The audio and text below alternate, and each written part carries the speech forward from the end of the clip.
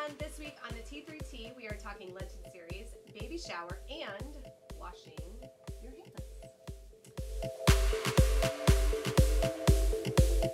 Another episode is here. So, what is the top thing you need to know this week at St. Mary's? Lent has begun, and we have a s- several special things on Wednesday. At noon, there are Lenten concerts. They're just a half hour long. And tomorrow starts uh, with a jazz pianist, Jim Van Voorhees. And uh, then it'll include cello, flute, organ, on and on um, throughout each Lent. Again, they're half hour, they're in the church. And then in the evening is the Lenten series. So it begins with a simple soup supper at 6, of course, couldn't start at 5 because it doesn't have an S. And then 6.30 is the program. Um, tomorrow we'll begin with uh, Father Tod presenting some stuff on, I think, emotionally healthy spirituality and then uh, it will progress through the I think the next five weeks.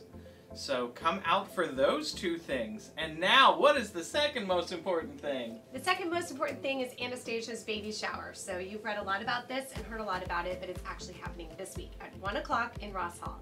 If you are a lady, we would love for you to come and join us. Um, you can bring a gift. They're registered at Target. They're taking Amazon gift cards. But uh, just please join us either way. We're going to have a great time and showering her with lots of wonderful things for their baby that is on the way very soon. Yeah. 1 o'clock in Ross Hall. If you have any uh, questions, you can email me or call me at the office. And what's the last thing, Father Christian? All right, the third thing you need to know is that I know there are some health concerns out there, so just you know that Father Tod will be sending a letter out uh, by via email today on Wednesday, so you'll get that. If you do not receive the letter, this is a very good opportunity to find out if we have your correct information. So if you're sitting here watching this video on a Wednesday, Thursday, Friday, Saturday, and you're like, I didn't get this letter from Father Tod, well, odds are that we don't have your right email. Uh, that letter will also be, be posted on our website and will be posted on Facebook. So uh, nothing that really should, shouldn't surprise you, but if there's some questions you have, hopefully everything will be answered. And you can always call the office and ask for Father Tod and myself. All right, those are the top three things that you need to know here at St. Mary's Episcopal Church. And Stuart. Like us on Facebook. It's a great way to, to get information out. We're doing our push to 2,000 likes, so like us on Facebook, tell a friend. Peace. Bye.